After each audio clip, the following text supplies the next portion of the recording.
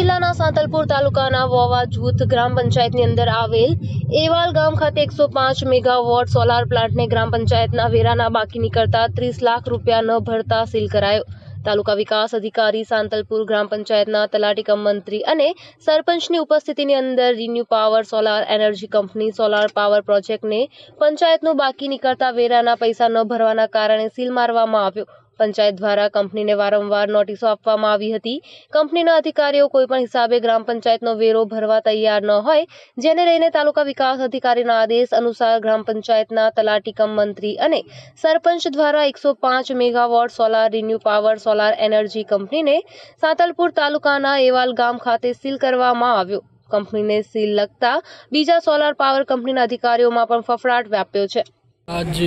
બાવીસ તારીખ सांतलपुर तालुका के एवाल गाँव में स्थित रिन्यू पावर जो सोलर कंपनी है,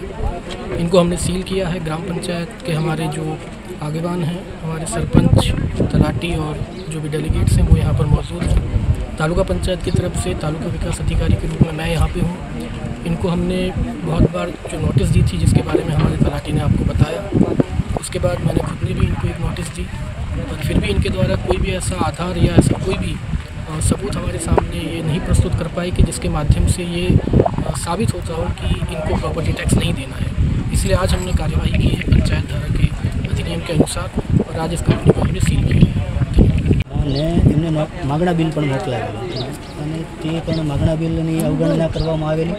અને ત્યારબાદ અ, બીજી માગણા નોટિસ પણ એમને આપવામાં આવેલી ત્યારબાદ ત્રીજી માગણા નોટિસ આપવામાં આવેલી આ આ માગણા નોટિસ આપી પછી નોટિસ આપવામાં આવી પ- ત્યારબાદ અ, મા- માર્ચ મહિનાની અંદર સોળ માર્ચના એ- એમને કહેવામાં આવ્યું કે ભાઈ તમારે જો વેરો ભરવાનો ના હોય તો એના માટેના કોઈ કાગળિયા કે કોઈ સરકાર સાથેનો કરાર રિન્યુએબલ એનર્જી છે તો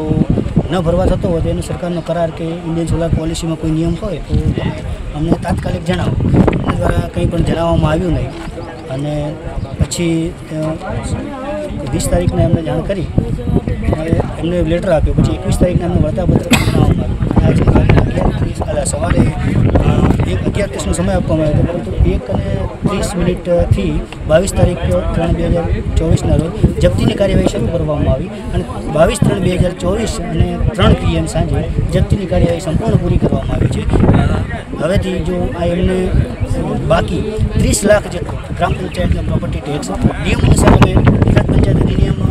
કલમ અધિનિયમની જોગવાઈ કલમ બસોની જોગવાઈ મુજબ નાખેલો અને પંચાયત નિયમોના પંચાયત નિયમો ઓગણીસો ચોસઠનું પાલન પણ કરવામાં આવેલું હતું. ત્યારબાદ એમને ભર્યો ન હોવાથી ગુજરાત પંચ અધિનિયમની ઓગણીસો ત્રાણુંની કલમ બસો પંદર મુજબ જુદા જુદા પગલાં લઈ છેવટે ગુજરાત પંચાયત અધિનિયમ ઓગણીસો ત્રાણુંની કલમ બસો પંદરની સબક્લોઝ પાંચ મુજબ જપ્તીની કાર્યવાહી પૂર્ણ કરવામાં આવી છે. Bureau report Anil Ramanuj, Radhanpur.